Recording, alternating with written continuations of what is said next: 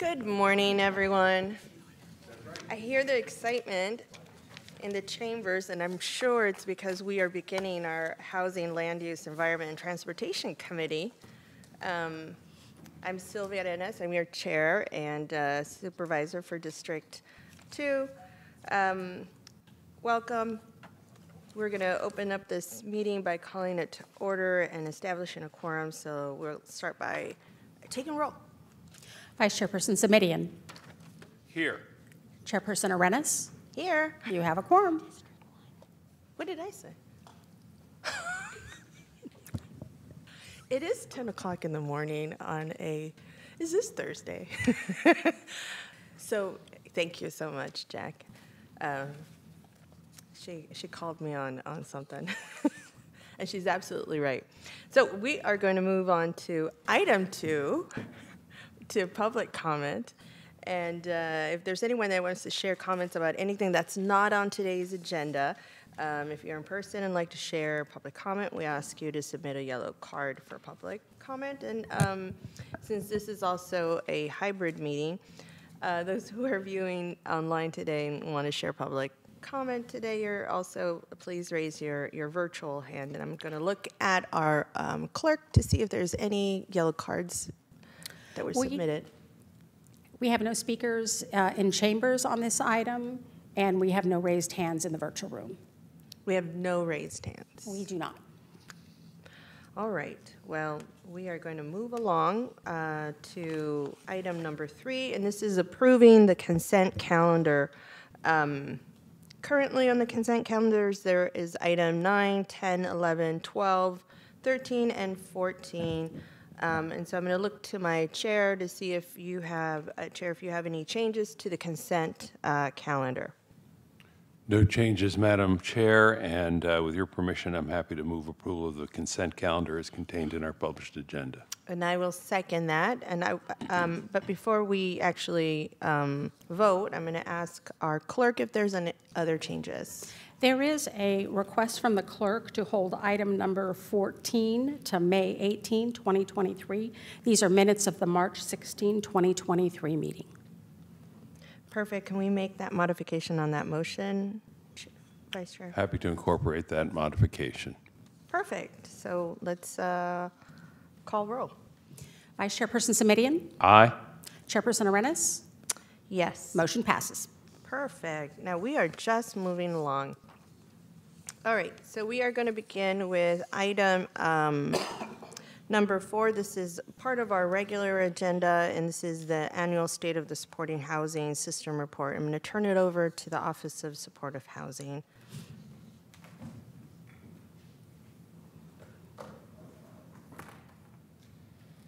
Thank you, Chairperson Arenas. Uh, KJ Kaminsky, Deputy Director for the Office of Supportive Housing. Uh, We're looking forward to sharing some highlights from our annual Supportive Housing Report this morning. I'd like to introduce Hillary Armstrong, Program Manager of Housing Initiatives, and Hong Kao, Program Manager for our Continuum of Care, who will lead the presentation. Thank you, KJ. Good morning, Chair and Vice Chair.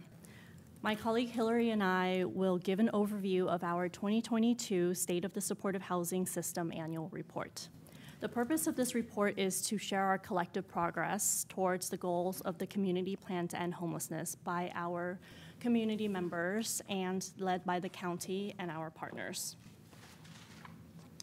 The overview of this report highlights our community plan progress, including crisis response and prevention, supportive housing system highlights, and finally, strong partnerships and opportunities. Our community plan to end homelessness was developed with input from our com- entire community, including system partners like People with Lived Expertise, our nonprofit partners, housing developers, and residents in our housing programs. Our community plan focuses on three core strategies. Strategy one addresses the root causes of homelessness through system and policy change. Strategy two expands our homelessness prevention and housing programs to meet the need of our people. And strategy three improves the quality of life for unsheltered individuals to create a healthy neighborhoods for all. This slide highlights the overall progress at the end of 2022, our system partners assisted over 9,600 people to move from homelessness to housing, which is 48% towards our goal to house 20,000 people by the end of 2025.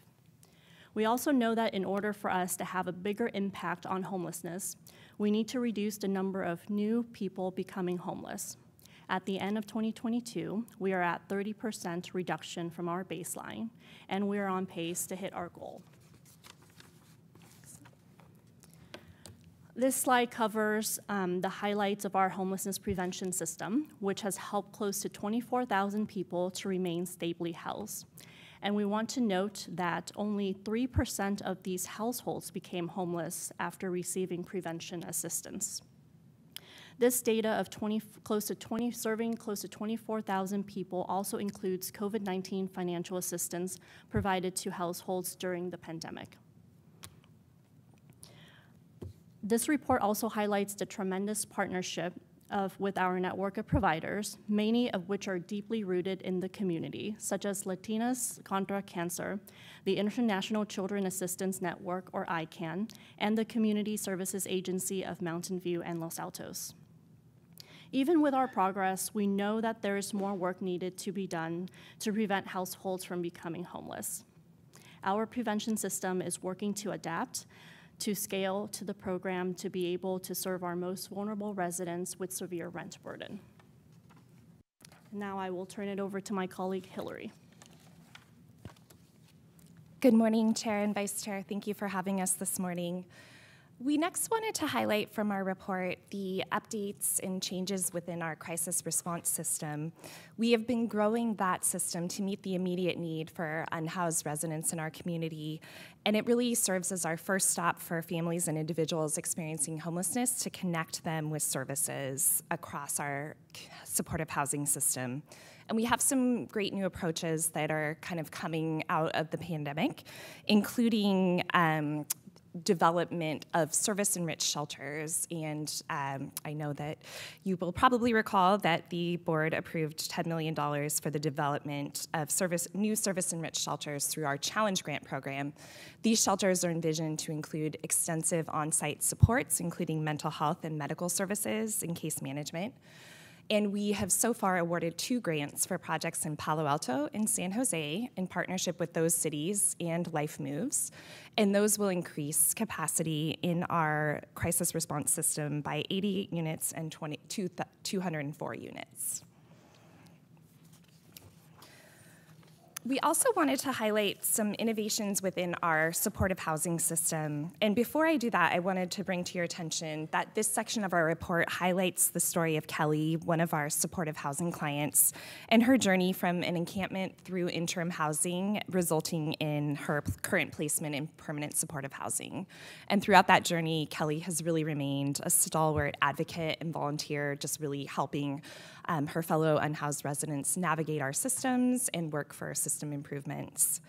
Two of those improvements and innovations that we wanted to highlight are the universal application pilot. So, in the past, when an individual or family would become eligible for a housing program, they would have to possibly apply for, you know, 14 different apartments through separate applications. And in partnership with one of our property management companies and with the support of Destination Home, we have a process that has currently streamlined the application process for 10 supportive housing developments. So um, that individual can just sub submit one application and highlight all of the properties for which they're interested. After six months of that pilot, the processing time had been reduced by 31%, and our vacancy rate in those uh, permanent supportive housing sites went down from 12% to 7%. So, obviously, these are key um, markers of our system that we want to have improving to make sure that more and more people are getting into housing more quickly. We'll be adding additional properties to this process over the next couple of years. We also want to highlight Willow Glen Studios on Pedro Street, which provides 80 units of interim housing for folks who are enrolled in a supportive housing program while they're in housing search or waiting for the construction of that uh, site to be to complete. And so Kelly, the individual highlighted in our report, spent some time at Willow Glen Studios. We've had 204 individuals who've moved into permanent housing from that site since it opened in 2021. We also want to highlight progress on the 2016 Measure A Affordable Housing Bond. And these uh, numbers are updated as of the end of 2022. And we wanted to highlight that we have 812 million committed of the total housing bond.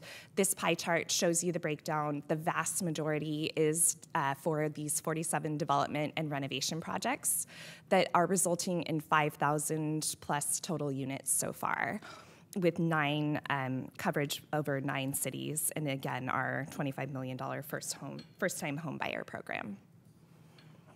We also wanted to show you two of those Measure A funded projects that did open in 2022. We have IMAC Village, which has 118 studios and 16 one bedroom units, and 109 of those units are permanent supportive housing.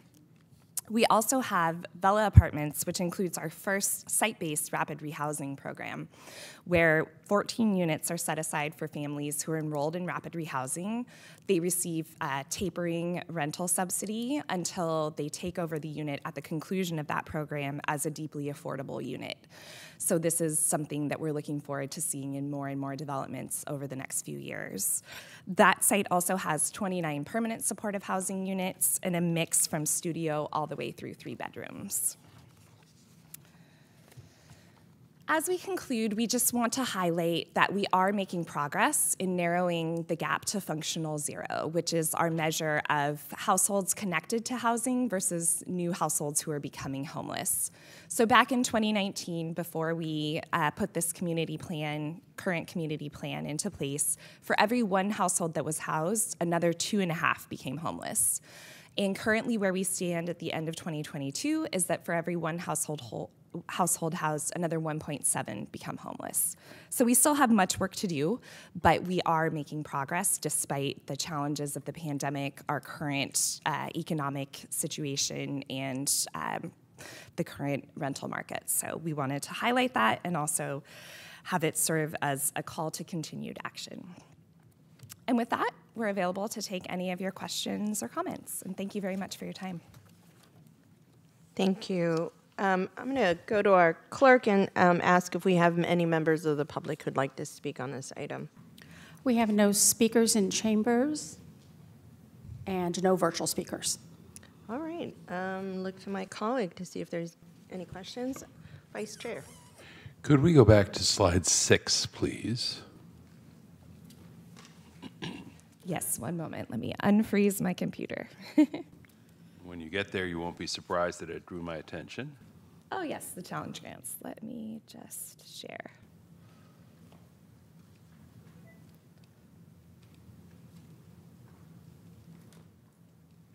Sorry, one moment.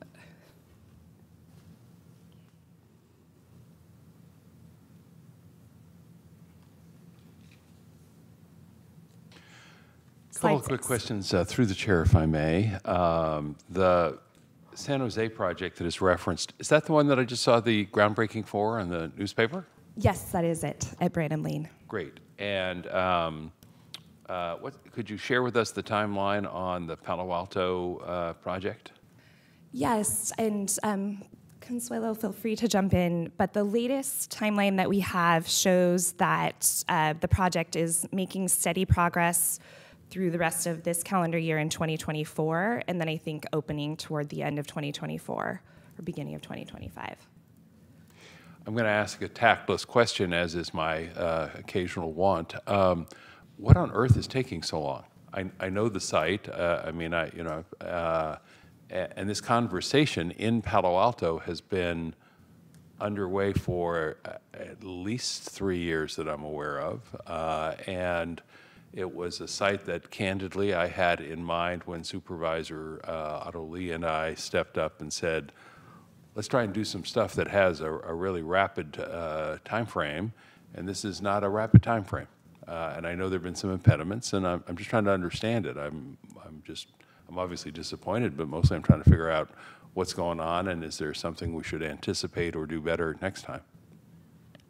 Thank you for the question, uh, Vice Chair Simitian Consuelo Hernandez, Director for the Office of Supportive Housing. And our understanding of the construction delays is related to the site. Um, So there is some additional infill and dirt that they have to treat. Um, The most recent change includes the um, installation of a, uh, of a wall uh, in order to protect the site. And so that has created some additional complexities with the property all of which was not planned for um, in advance. And as you know, there were delays with the announcement of the challenge, of the Homekey Award, um, and that delayed the project by at least six months. Okay. Um, Well, I guess in the spirit of full disclosure, I should share with you that I'll be poking around Palo Alto and talking to council members and city staff and um, just checking in there to see if there's anything we can do to um, facilitate uh, the arrival of uh, this work. I know our, our teams here at the county, I think, you know, very much feel the sense of urgency about, about this, but um, you know, uh, Madam Chair, I'm, uh, we, we've got some projects in the works where it's like, well, that's great, now the approval's are ready, and it could be a year or two before financing's signed off on at the state level, and they're just, um, you know, I'm not saying we don't all need a greater sense of urgency, but just at various levels of government, doesn't seem to me there's as much of a sense of urgency about addressing these problems. Um, You know, I think you all are acutely aware, for the work you do, that somebody who's out in the street for another two years who may or may not make it. So I, I just, um, anything I- that we can do to uh, foster, hey, let's go, everybody, uh, uh, you know, please. I'm looking at Ms. Hernandez, who's smiling very graciously, given the number of times I've said, come on, let's go, come on, let's go. Um, So I just, you know, let's see if we can spread that, that eth- ethic, if you will. Uh, And meanwhile, I will be uh, poking around a little on that particular project, which I'd like to see moving sooner rather than later. Thank you. If Thank you, I'm- Madam Chair. If I may add one more thing through the chair, um, Supervisor Simitian, the one thing that we did offer uh, was an invitation to the problem-solving table, if you will, um, because there was a, uh, the challenges with the site uh, created a $6 million construction gap. Um, And we uh, reached out to our partners at the city and offered to shift our funding around in order to close that gap um, and have um, invited them to be more open with us um, in the problem-solving space so that we can help with that urgency and problem-solving. Um, And we are meeting with them biweekly now. Great, thank you very much. Thank you all. Thank you, Madam Chair. W- Wonderful. Um, Really good um, point there, and and I'm glad that, that there's a lot of brainstorming and and collaboration, because that's what exactly needs to happen in order for us to solve this issue. It's not just the county um, leading on this, but it's all of our partners playing a part, playing a role. Um, Which brings me to my point and our role to educate our community about the work that we are doing.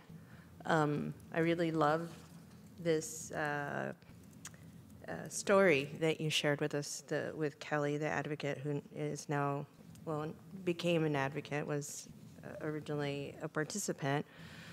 Um, and the level of success there, I think, needs to be shared. Um, I, I think I've shared this with Consuelo, with you. I, it, there's um, different things that are needed to, uh, in this formula to address homelessness, right? One is the political will, obviously the funding, and then also the community will to accept and love and live next to our unhoused our folks who are just uh, challenged uh, with staying in this area. And so I wonder how are we spreading that message in order to really augment the political will within our uh, community? Thank you for the question, Chair Arenas, and I'll let Consuelo add on anything. But I, I think this is an area that we're certainly focused on at the Office of Supportive Housing and working with our partners across other agencies, including uh, Destination Home. And really kind of thinking about, like you said, the various levels of communication. Um, and, you know, this report kind of speaks to a certain audience, I would say, kind of policymakers and folks who are already kind of familiar with our work. But I think you, I agree, and, and you know, we are seeing in a lot of our community engagement this kind of need for this larger, like you said, education and kind of um, familiarity with our system and our solutions and um, you know kind of the various i think there's a lot of folks out there with kind of you know quick ideas but you know how to really keep keep the eye on this system wide and the need for a systemic approach across multiple agencies. So that's an area that we're really focused on. Consuelo i don't know if you want to add. Thanks, Hillary, and thanks for the question, uh, Chair Arenas. Sorry, the awkwardness with the mic here. I want to see you. um, you know, one of the things that we've been talking about is really engaging with the Office of um, Public Affairs, um, and I'm sorry, they're, they changed their name, and so I'm, i know I got that wrong. Um, but helping them, sorry, having them help us in the storytelling. Um, so one of the things that we're mapping out right now through our communications um, discussions is how do we uh, connect them to the stories and then leverage their power of storytelling um, because that is absolutely not, not something that we're particularly good at. You know, we have our heads down, focused on the work. So that's a really opportunity for us. And then for Affordable Housing Month um, in May, we will be hosting a session um, during the lunch hour where we'll talk about the system, um, share our progress and updates, um, and really leveraging the, the others who are good at telling the story. Um, so it is a tremendous gap and an opportunity, uh, one that we are, um, anybody that's willing to and open to help us, we will take it. Great. Well, listen, I think when we want to make systemic change, there's things that obviously you're already doing. You're, you're on that path. You're creating a huge system changes.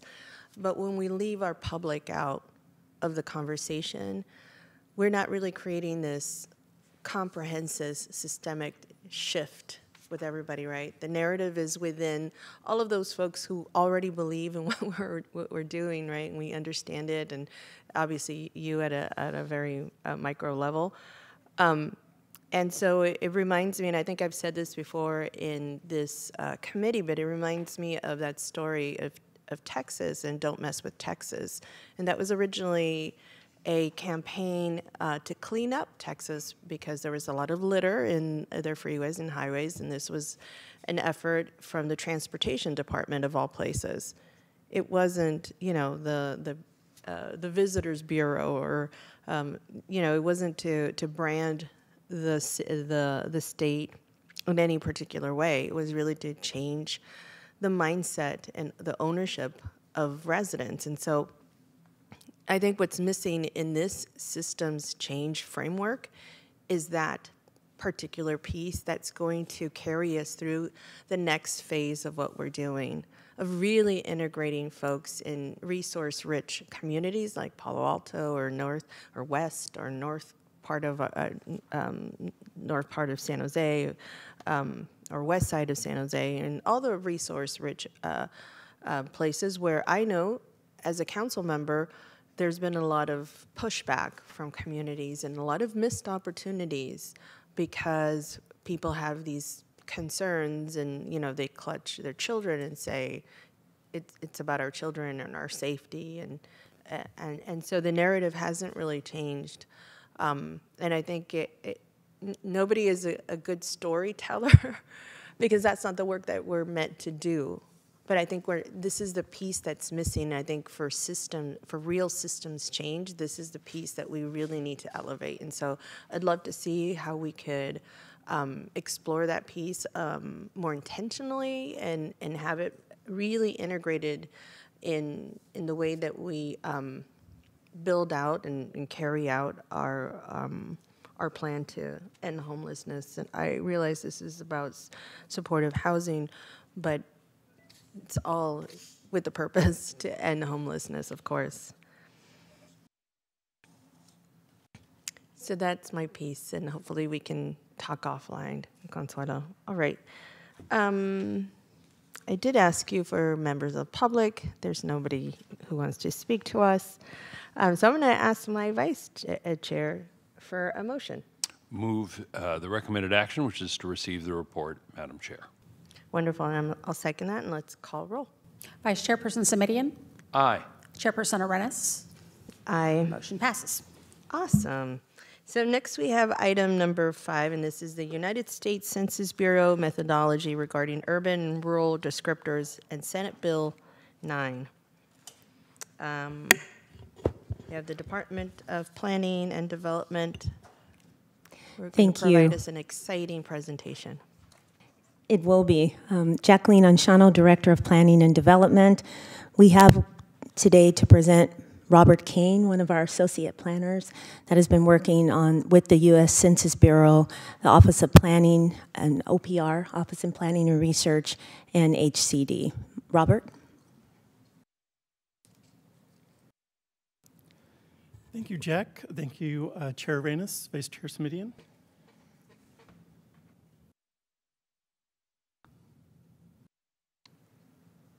My presentation to you today is about our department's efforts uh, to reach out to the federal and state agencies to discuss rural and urban designations, specifically as they relate to Senate Bill 9.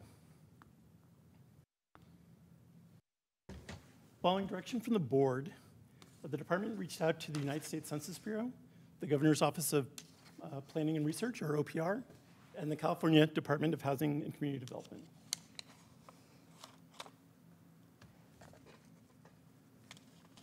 When we met with the Census Bureau's uh, Ge- Geography Division, we specifically discussed how they reach their determinations of urban areas, and anything that is not designated as urban is therefore considered rural under their paradigm. We also talked to them about what changes were made to the 2020 census criteria. Based on those changes and the new data that came in in 2020, some areas were reclassified that were previously urban as now no longer being urban or that were not becoming urban. But as you can see from this map, most areas that were urban after 2020 are still considered urban after 2020, including most of San Martin. We discussed how uh, this criteria might change again in the future, and they informed us that there can be no changes to the current criteria, and there is no appeals process currently um, allowed. However, we could propose changes for future census cycles.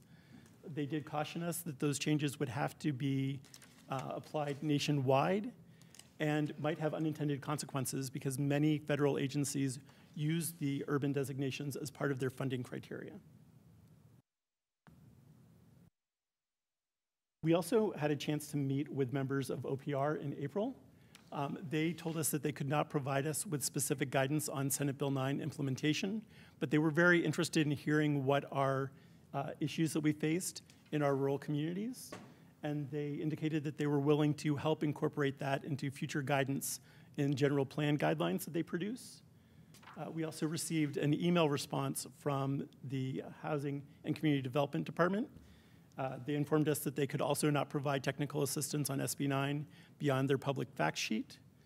Uh, Because SB 9 was adopted by the state legislature, that is really the area that we would have to go to if we wanted to see any change to the current criteria in Senate Bill 9. Excuse the interruption. Through the chair, Madam Chair. Of course. I'm not feeling the love here. Is that what you're trying to tell us? You're, you're being, you're being so professional and so technical, but if, if the short version is, you know, they told us to pound sand, I, I want to encourage you to just say it out loud. Sure. Um, The, the direction that we got was basically there wasn't much that could be done from these particular agencies. Uh, And really, the focus should be on this, on the state legislature if we wanted to see change. Thank you. I, I- forgive the interruption. I just wanted to make sure I wasn't missing something between the lines. Thank you. Sure, not, not at all. I, I think one of those bullets should be, go pound sand, yeah. right? No, it's just, it's... Yeah, it's, it's missing. Maybe we can correct that. Some of the agencies were nicer in how they responded in that way than others were.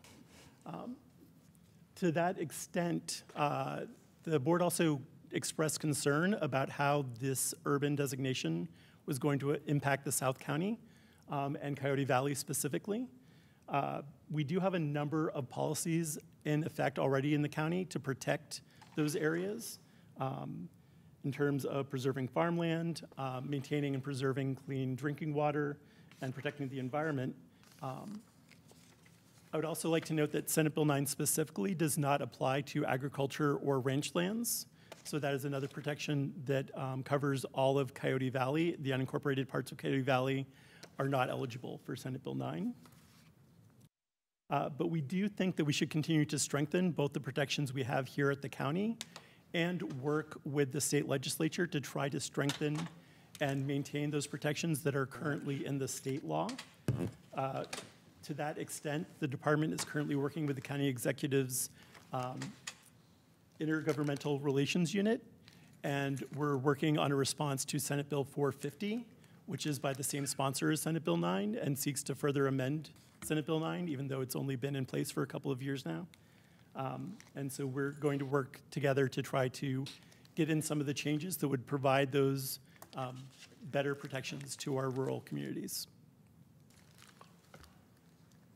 And that concludes my presentation. Um, I'm available for any questions you might have. Perfect. Thank you so much. Um, Madam Clerk, is there anyone in uh, chambers who would like to speak on this matter or online? We have no speakers in chambers and no virtual speakers. No virtual speakers. Okay. Um, I'm going to look to my colleague to see if there's any questions on his behalf. I have no comments or questions. If you'd like a motion to approve the recommended action, which is to simply receive the report, I'm happy to do that. And um, I, we, no direction is called for, but I appreciate the indication that staff will continue to work on these matters at the legislative level to the extent that that's promising. Thank you, Madam Chair. So move approval.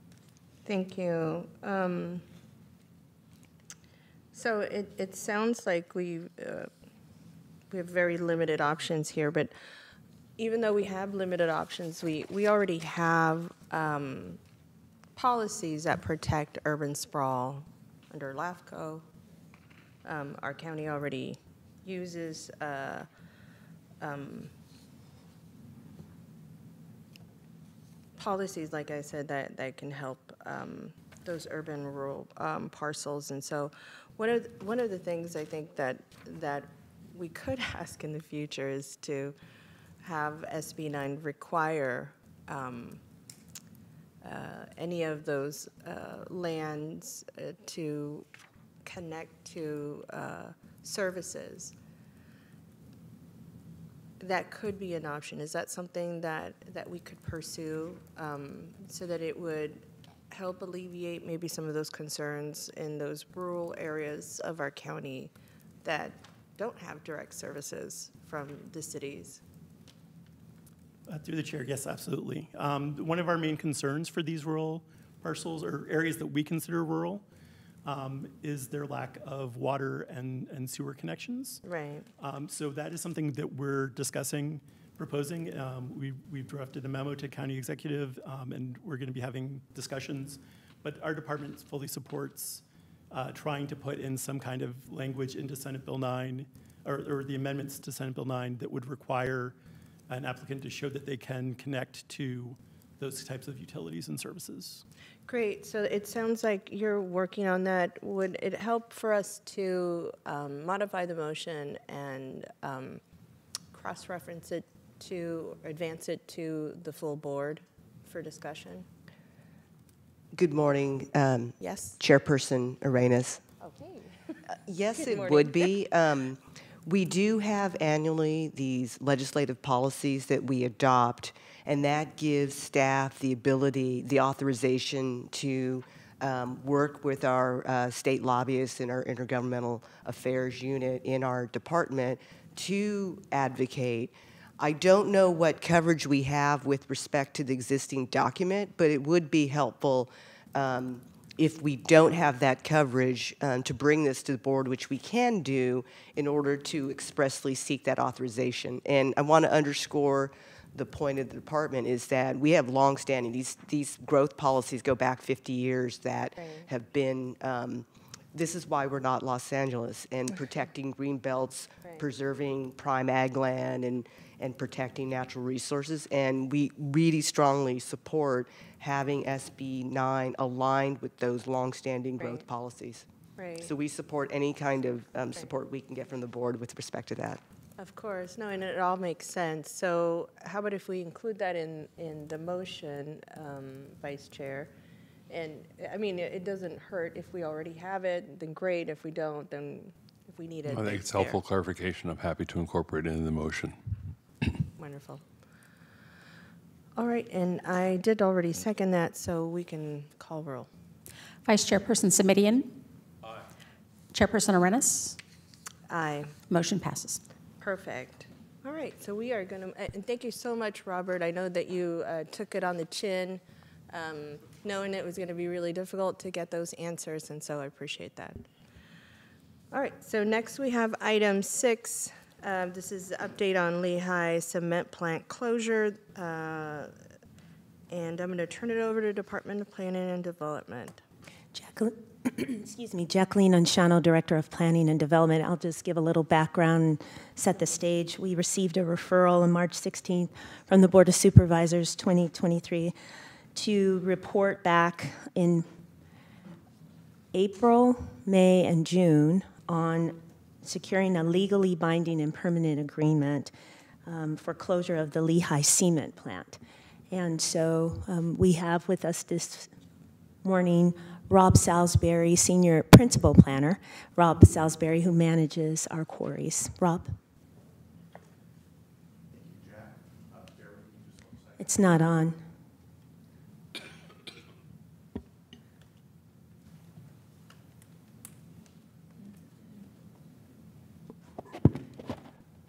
Thank you for that, Director Onciano. Uh, Bear with me just one second, if you would. I just got uh, booted from the Zoom meeting, so I'm going to try to rejoin here so I can share my presentation.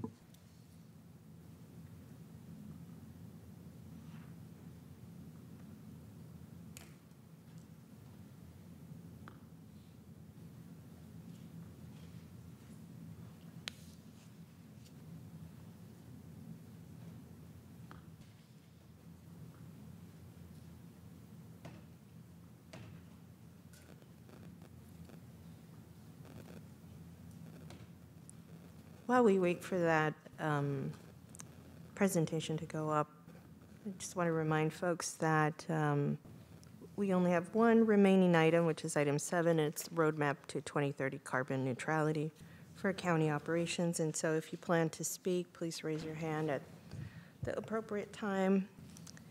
It'll be a wonderful, May I interject a moment? We have, um, in addition to the carbon neutrality presentation, the overview of uh, the budget proposals. for oh, of course, right? yes, I Just budget. wanted to calibrate everyone's But That one expectations. thing that everybody's been working on for the last many weeks, yes, of course, there is one. Thank you so much, Sylvia, for catching, um, for catching that one.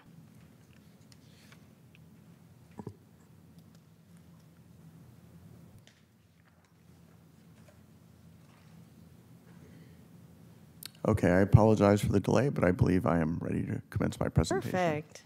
Go right ahead. Thank you, Chairperson Arenas, Supervisor Simitian, and members of the HLUET Committee. Item before you is an update on the Lehigh Cement Plant Closure Agreement. My name is Robert Salisbury. I'm a Principal Planner with the County of Santa Clara Department of Planning and Development. First, a little bit of background. The Lehigh Cement Plant is located in unincorporated county, west of the city of Cupertino. And you can, there's a, a map up on the screen that shows the areas of the quarry, including the main quarry pit and the cement plant. So just a little bit of background on the operation of the facility for context. Lehigh Permanente started mining limestone in Cupertino in approximately 1903. The quarry is vested and does not need or have a use permit for their quarrying use. They have a separately permitted cement plant, which was authorized by a use permit approved by the County Board of Supervisors in 1937. And this use permit allows Lehigh to produce and store cement at their Cupertino facility. So on November 17th, 2022, before this, before this committee, uh, Lehigh staff made a presentation and made some statements about their plans for the future of the Lehigh facility. And, and just to provide a little bit of info about the cement uh, production, it's a two-step process. Clinker is produced by sintering limestone in the clinker kiln, and then it's ground into finished cement uh, via a cement mill. So during the November 17th, 2022 HLUET meeting, Lehigh's staff stated that they've permanently ceased clinker production at their Lehigh facility. With that in mind, the department received a referral from the Board of Supervisors on April 18th, directing County Counsel, with the assistance of the Department of Planning and Development, to reach an agreement on permanent closure of the cement plant kiln. Separately, the board directed the department, uh, directed the Planning Commission to schedule revocation, modification, or reaffirmation hearing on the cement plant use permit. The board also requested status updates on progress towards reaching an agreement with Lehigh in April, May, and June of this year. So the current status is that uh, planning staff and county counsel staff have met multiple times with Lehigh executives. Lehigh executives have indicated a willingness to enter into an agreement acknowledging permanent closure of the cement plant kiln. County counsel is currently drafting that agreement. And planning staff is preparing for a revocation, reaffirmation, and modification hearing before the planning commission if that should become necessary. And as I said, uh, subsequent status reports can be provided to this committee in May and June of this year as directed. So with that, I'm happy to answer any questions that the committee may have. Thank you. Thank you. I am going to ask for public comment if there's any in the chambers or online. We have one speaker in chambers and no virtual speakers. Thank you. Our first speaker is Rhoda Fry.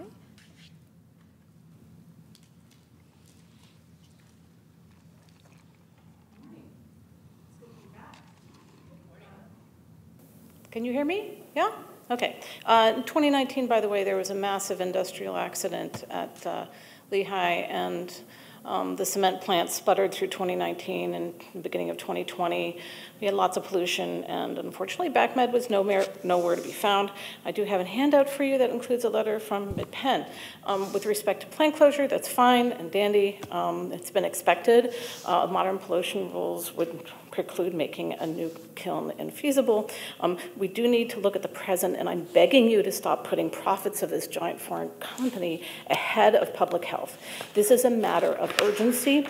We need to reclaim the quarry. It's overdue. Quarry dust flies multiple miles, and its particulate matter has devastating impact on human health. But there's more. The county has looked the other way. While Lehigh has exported rock that is needed for reclamation. MidPen was vehemently against building a new rock plant and exporting rock. The previous um, rock plant had been dismantled. If they had a vested right, they lost it. And besides, the rock that is being exported is needed on site per the approved 2012 plan. Every truck driving out of there now means another one driving in in the years to come, creating health impacts and further delaying reclamation. Read MidPen's letter. Lehigh was allowed to continue mining based on the 2012 approved plan that is that used on-site rock. Please sit, stop sitting on your hands and waiting for a new plan. Supervisor Simitian, I ask that you direct staff to investigate whether the new rock plant and exports are allowed. I have a dossier that I can share and have previously shared with staff. Let's please put people ahead of profits we're your constituents, not Lehigh. Thank you. And to the chair, that concludes speakers, but I do have a Levine Act announcement for this item. Item number six is subject to the Levine Act. Any party or their agents and any participant who has a financial interest or their agents must disclose on the record a contribution of more than $250 made to a board member as described on page three of the agenda.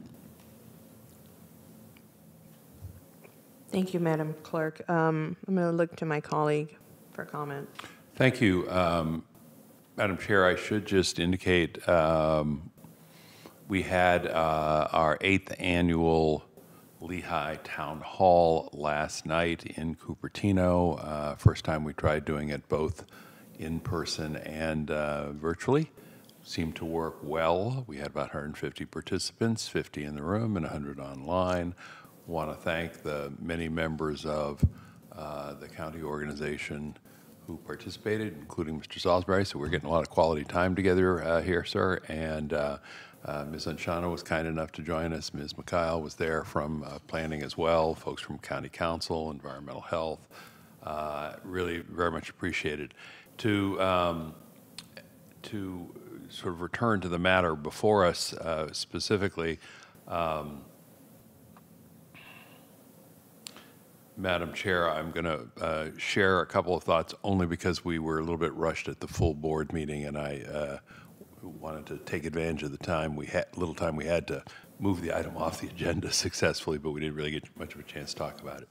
Just so staff understands uh, the thinking behind the referral that uh, I brought. um, and this was, we were reminded of this last night, I think. It's 3,500 acres. It's more than a dozen different governmental entities. It's more than a century's worth of activity. You don't wrap all that up in a tidy bow, lickety split, as much as my sense of urgency might compel me to exhort you to uh, that end. So for me, this is about keeping our eye on the prize. And the shutdown of the kiln uh, I have, I have three goals, which I've articulated uh, previously, Madam Chair. Shut down the plant, shut down the quarry, start the restoration and reclamation process. That's, um, that may be the most concise summary of anything I can ever deliver in this committee.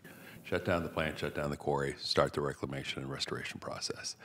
Um, the thing that is right there in front of us, right there in front of us, if we could only grab it, is the closure of that kiln. Um, Lehigh has said publicly that they do not have plans to restart the kiln. It was helpful, I thought, last night for the, I believe it was the Bay Area Regional Air Quality Board representatives who indicated that their permit there has expired and that if they came back with a request for a new permit, that would require um, 21st century technology at a great cost, which is not anticipated. So uh, and as your staff report indicates, there seems to be some receptiveness uh, to the idea um, on the part of the folks at Lehigh, who call themselves Heidelberg Materials these days. Uh, that was certainly the impression I got when I visited myself uh, earlier uh, this month uh, in Dallas, Irving, Texas. And I think the obvious question is sort of how do we get that, how do we close the deal for lack of a better phrase, on uh, that plant closure in a way that is permanent and legally binding, gets it out of the use permit.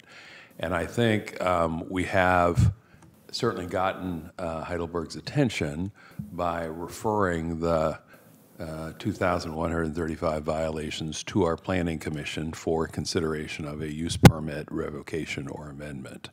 Um, my own view is that would be challenging for them and us, just given the scope and complexity that I've described earlier, with an uncertain result at a date far in the future. And so, what I'm suggesting and have suggested, and what the referral suggests, is that if we can get a commitment uh, that the use permit will ultimately uh, not uh, include a um, a cement plant operation, a kiln operation, that these other matters, and they are many and they are important, um, could be discussed at the staff level by our staff. So I'm looking at Ms. Onciano and I'm looking at County Counsel's office uh, and the folks at Lehigh and try and uh, see if we can reach essentially a negotiated settlement with them. Now, I, I think it's important that this stuff happen in an open, public, and transparent way. So eventually, that work product would have to come in the form of a recommendation to our planning commission and possibly to our full board of supervisors. But I just think that's likely to be a quicker and more productive exercise than um, trying to thrash out the consequences of every one of those 2,135 violations. But the referral explicitly makes that alternative approach conditioned on getting timely response on this proposal for uh, a lasting, binding, permanent closure on the kiln. So, Madam Chair, that's what you would have been stuck listening to if, uh, if, I'd, if we'd had the time at the last board meeting, which we didn't. Uh, and I'm glad we had the opportunity to say it here. And, um, you know, as somebody put it to me, they say they don't have any plans to start up, so it shouldn't be that hard. Um, it's always harder than we think it will be, and there's some kind of, but you know, we've got this got this time, and uh, I thought a little sense of urgency again about saying, let's see if we can wrap this up in the next couple of months and see what happens. So thank you for that. I'm, I'm hopeful, I'm optimistic, and uh, I'm also a little determined on this one. So thank you. And, and can you repeat your, your three? Shut down the quarry, shut down the, You're going to be the favorite committee vice chair all day if you ask. Give me that opportunity again. shut down the cement plant, shut down the quarry, begin the restoration and reclamation of the site.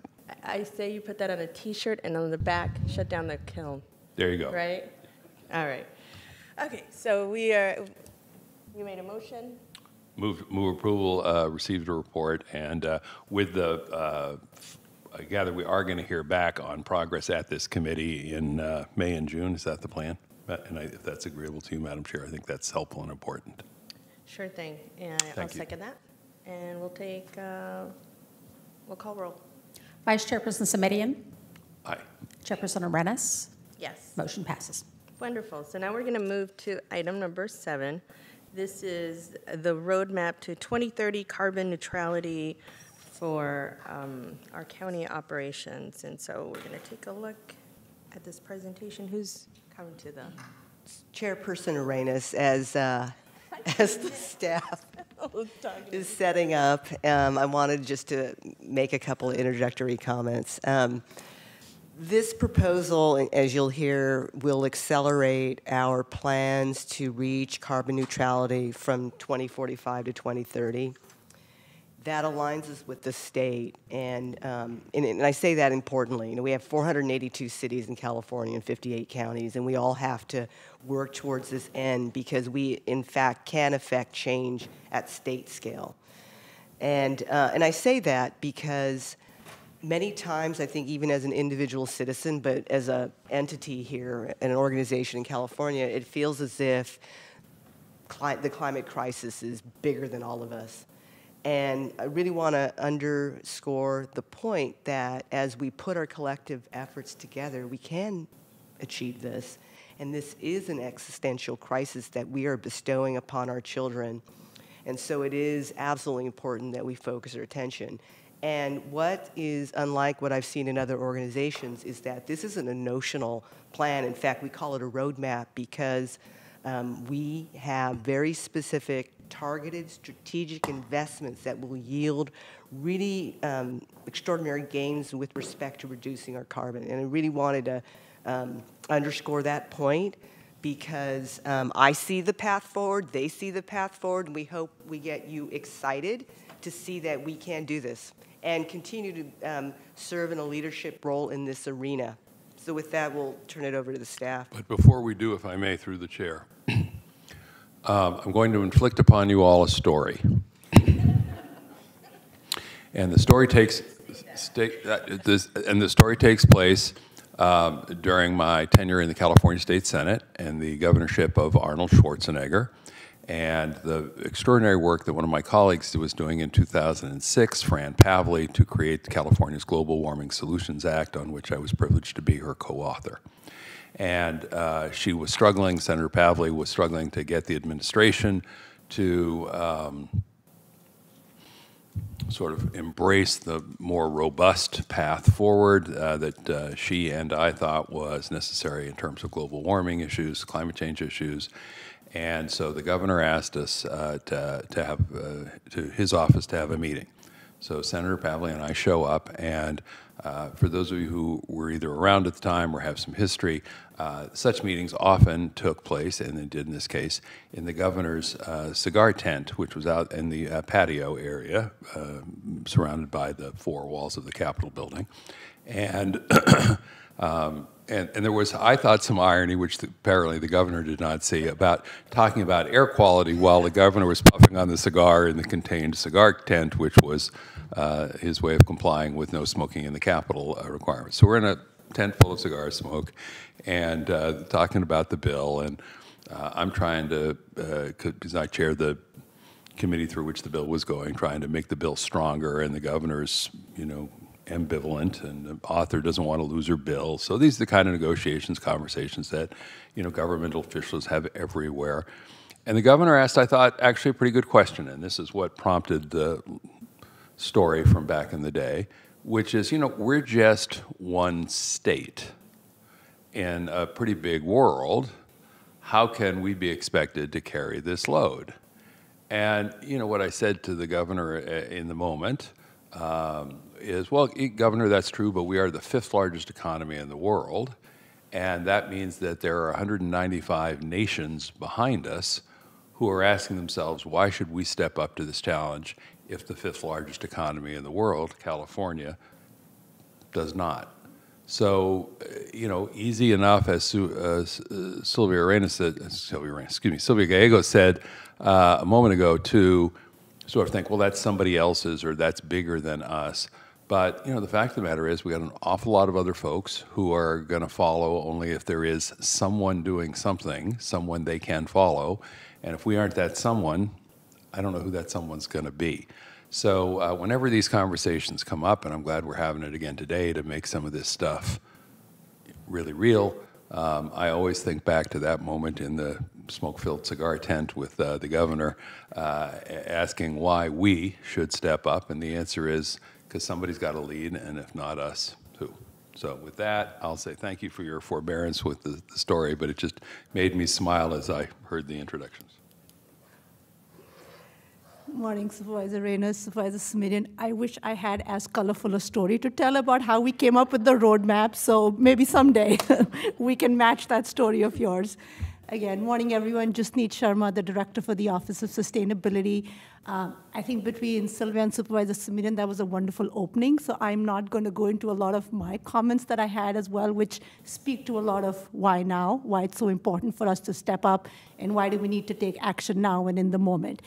Um, just a reminder that the county had established a commitment to carbon neutrality by 2045 for county operations and as, as both of you spoke, the, in response to the really the accelerating climate risks that we are seeing, and both to align with state, but in some case actually lead for the state as well, not just align. Uh, we are really putting forward this roadmap to 2030 for county operations for the committee's consideration today.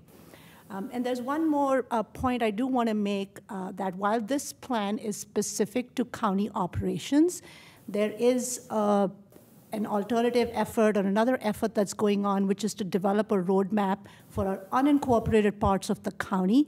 But within that, there's also an element where we are doing a county-wide baseline study, and we'll be working with all the cities to establish inventory for the full county and also come up with regional strategies. So our hope is with that is to move all the cities along with us and move forward with them uh, together.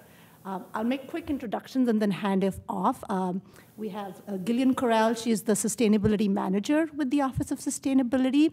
And then from Facilities and Fleet today, we have David Berry, he's the Chief of Facilities Planning. And then Susanna Santiago, she's the Sustainability and Climate Change uh, Program Manager. Both Gillian and Susanna will be leading the presentation, so I'll hand it off to them. Good morning and pleasure to meet you both. I'm Gilly Corral, as Jasneet mentioned. I, I, think actually Sylvia took a little bit of my thunder, but we are experiencing an existential crisis. The scientific evidence today is unequivocal that climate change is a threat, as she mentioned, to human health and our planet's well being. Um, our climate is headed for irreversible and catastrophic conditions if we don't act immediately. to curb climate pollution. What you see on your screen is local data. Our county is projected to see an increase in extreme heat days and warm nights, extreme wet and dry events, and more frequent and intense storms, as well as an increase to the frequency, the duration, and the extent of wildfires. Uh, with a one to two foot increase in sea level rise, we'll also see additional coastal flooding. Climate change is a stress multiplier. Uh, we say that uh, when we're thinking about the climate crisis, amplifying existing inequities. So that would be with housing affordability and food insecurity, as well as income disparity and education and health outcomes. And we saw this during the pandemic that certain populations are at higher risk for being harmed based on socioeconomic characteristics and as well as the built conditions in which they live. We know that the climate crisis is already here. The impacts of climate change, we are already feeling them throughout Santa Clara County. And these data on the screen reflect, again, local impacts from the 2020 SCU Lightning Complex fire, which resulted in widespread damage. The county incurred significant costs for repairs to roads, parks, bridges, and recreational facilities, as well as debris removal. The August to September heat wave was one of the hottest and longest in California for September ever. Peak summer heat for California is normally in July and August. But we know that longer and more frequent, as well as more severe extreme events for heat, are expected to occur in our county. In 2022, we experienced 21 days above 90 degrees in the county, which was surpassing the number of projected heat days. California experienced 31 atmospheric rivers this winter season. These storm events from late December through March brought record amounts of rainfall and high winds and flooding, which resulted in road closures, power outages, and evacuations. These events are very much in line with the climate projections that I've shared earlier, which alert us to an increase in extreme wet and dry periods. So we saw drought uh, severe drought conditions, which followed were followed by a storm event of a much bigger magnitude than we'd seen before, uh, which is again going back to the warming ocean waters and atmosphere holding more moisture. And with that, I'll hand it off to Susanna for the county emissions profile. Good morning, everyone. Suzanne Santiago, Facilities and Fleet Department. I'll briefly go over the operations specific emissions inventory. We are using calendar year 2019 as our primary source of emissions for our carbon neutrality efforts, but have included the 2020 inventory to demonstrate potential emissions reductions that resulted out of the shelter in place order due to COVID 19. In 2019, employee commute emissions accounted for 61% of total emissions, followed by buildings and facilities at 26%, fleet at 6, solid waste at 5, and reimbursed employee miles at 1%. In 2020, the employee commute sector dropped to 47% of total emissions for county operations, and overall are estimated to be 24% less than 2019 as a result of the continued implementation of the county's sustainability master plan and 33.7% of county employees working from home five days a week during the duration of the shelter in place order. the county is well positioned to take action to minimize the impact of its own operations on the climate. This will enable us to tackle the climate crisis, align ourselves with the state of California and other jurisdictions that are already accelerating efforts, and also maintain the county's leadership in this area. With targeted investments, the county can achieve the goals and objectives shown on these slides for the different emission sectors. The attached roadmap report provides the full menu of actions. However, in this presentation, we will only review the key actions for each sector in the subsequent slides. To be noted, the goals for each sector align with the goals adopted within the Sustainability Master Plan. Starting with the building sector.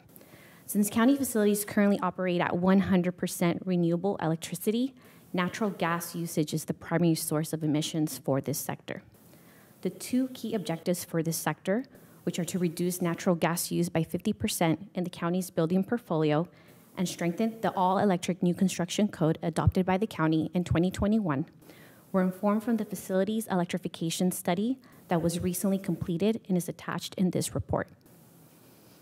There are 12 county facilities which are the top natural gas users and represent almost 90% of the total county buildings gas use. Valley Medical Center accounts for 30% of total natural gas usage for just the steam absorption chillers alone, followed by our fuel cell systems at 17.6%. Investing in these two can reduce natural gas utilization by nearly 50% to meet the 2030 objective.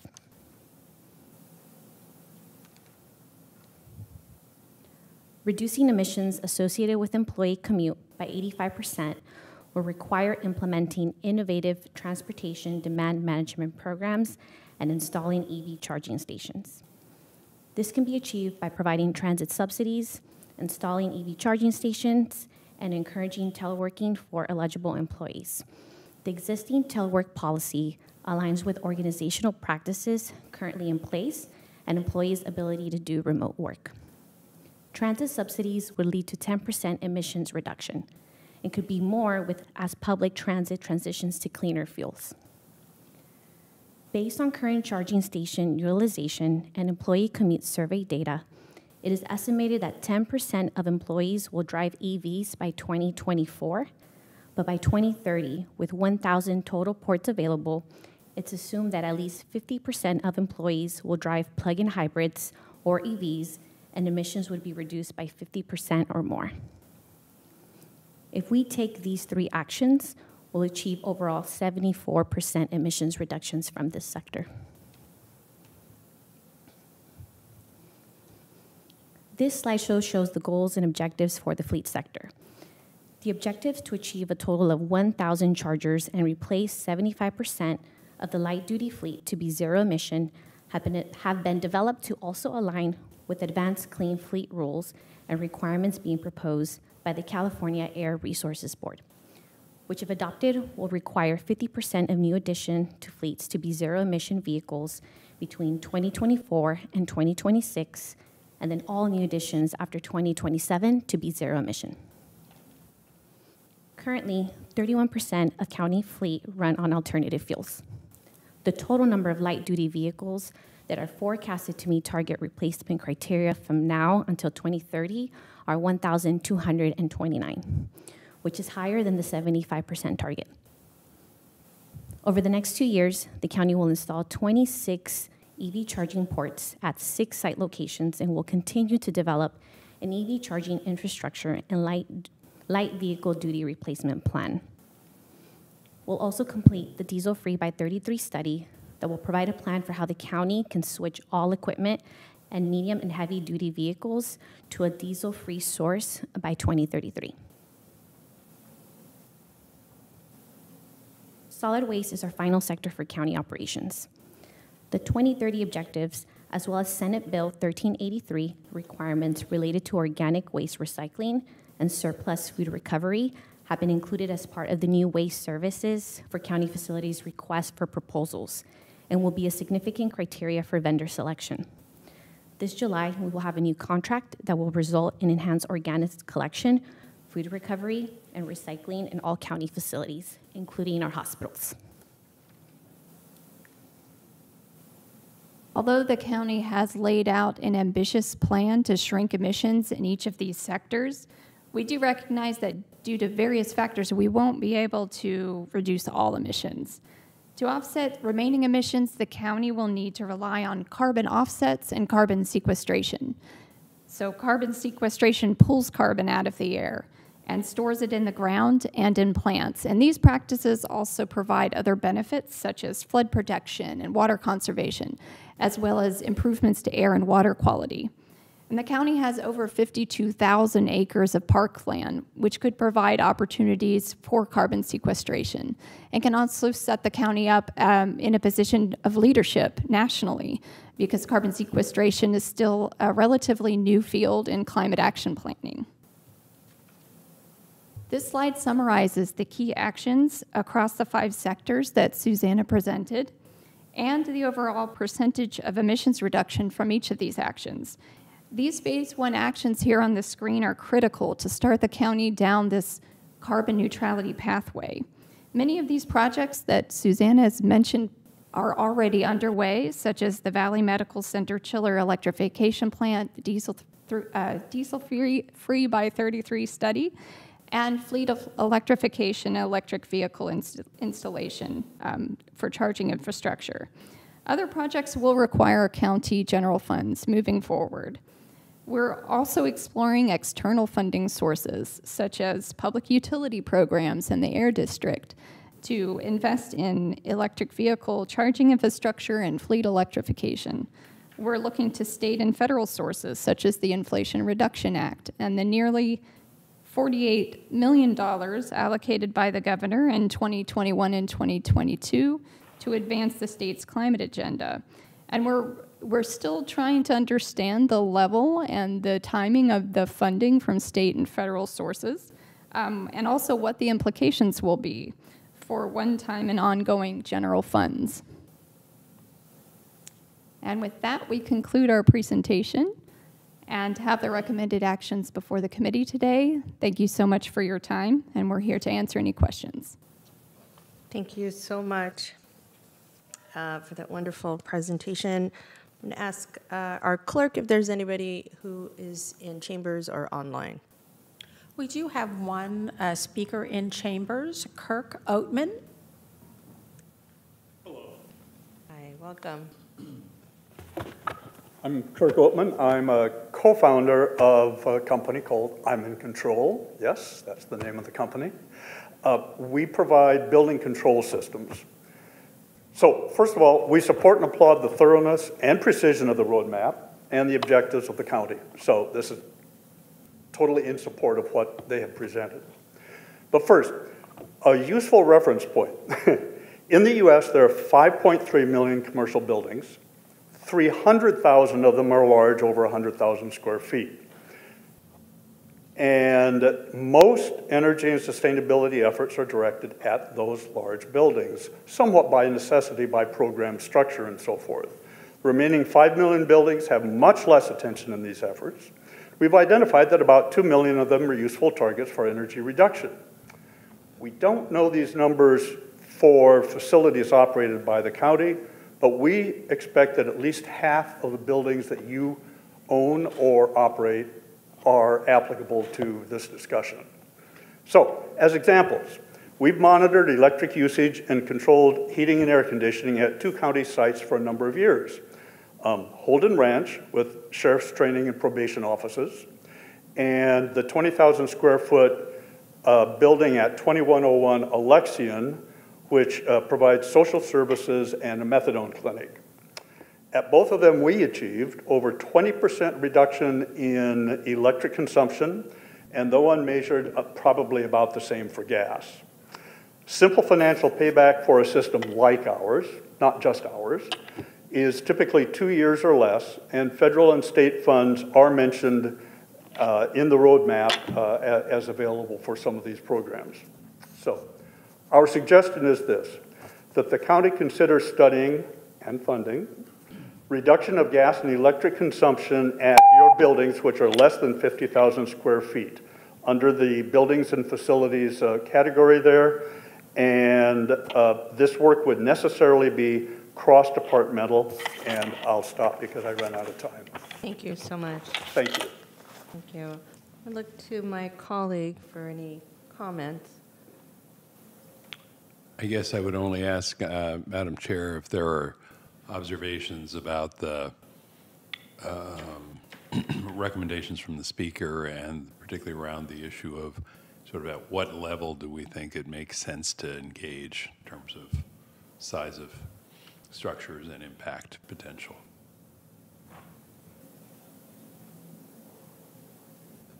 Is that a question for the speaker? That's a question for the staff. For the staff. I see them all trying to figure out who gets stuck answering that question is what I'm. Sure, absolutely. Um, As he mentioned, we typically do um, tend to lean towards our larger buildings because they're our largest um, energy uh, consumers. As a, but also we do pay closer attention to our um, our smaller, less than 50 50,000 square feet, as he mentioned. Um, we do complete energy studies and retro commissioning, which we call um, building tune-ups that we do for our facilities. But we um, could also do further analysis as requested if needed. Well, my, And so, if I can add to that, we are, uh, FAF is well, trying to establish a utility database management system as well. So that is really going to help us get a better understanding of like site-specific information. And then I think we can be more nimble on, as we see ups and downs, like water conservation is a classic example. We saw the drought and we really needed to figure out where we need to reduce our usage. So I think that is something they are working on right now and it'll come up soon. um, Supervisor Arenas, um, I'm not sure how many of the folks at the dais here will recall, but uh, I know Ms. Gallegos will recall when I first returned to the board back in 2013, I made some proposals for energy conservation strategies, uh, and candidly, they took forever. Uh, back to the issue of urgency. Um, and, you know, I would say that critically, although I might and could in another setting, but I just say it matter of factly, it, it just didn't move very quickly. Uh, I mean, like years and years, not quickly. And um, even on stuff that people said they wanted to do. So where I am on this one, I think, is uh, I'm prepared to move the staff recommendation, but with further direction, if uh, it's uh, agreeable to you, to um, to consider uh, smaller structures uh, on a timeline that they could share with us uh, in an off-agenda report, if that makes sense to both you and to staff, Madam Chair. Uh, So the idea is to begin with, with the smaller buildings that we have. No, the, I think the idea, if I'm looking at staff, is to begin with the larger buildings, No, yes? But you're, you're asking for them to begin with smaller. No, I, I'm asking them to go ahead with their plan, stay Uh-huh. with the larger ones, but to then say, okay, the, f- the smaller buildings that we didn't get to Oh, I yet, see. will sudden, will, will, will get s- cycled in at some point on a, for consideration on a timeline to be determined, and to make that real, ask them to send us an off-agenda report that tells us, hey, here's the other 247 buildings that we might include, whatever the number is, uh, and here's what their size is, whatever the number is, and here's the timeline that we think uh, we might look at these on, whatever that timeline looks like. It just ensures that that work begins uh, with some encouragement from the the staff, and I see Ms. Gallegos is leaning in as well. Thank you. So we do understand the request and are happy to prepare that.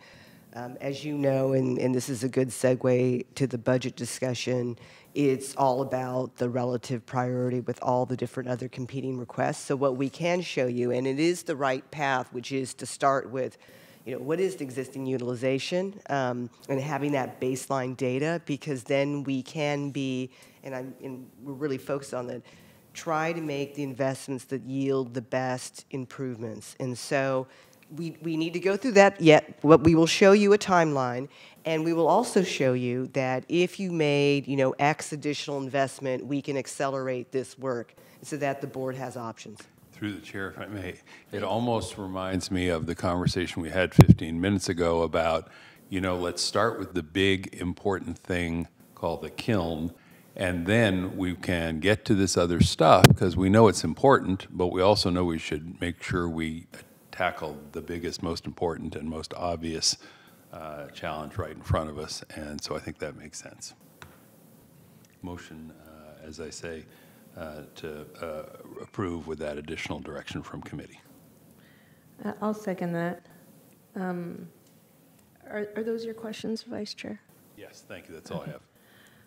Um, One of the ways that, one of the first um, votes that I, um, I had the honor to support as a council member when I first started was the um, establishment of our clean energy department.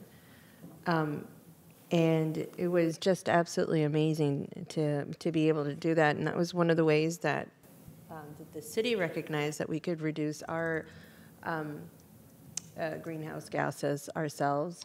Um, and so it, it, this is a different, obviously, this is, we're, we're different um, systems. And so I, w- one of the questions I have is,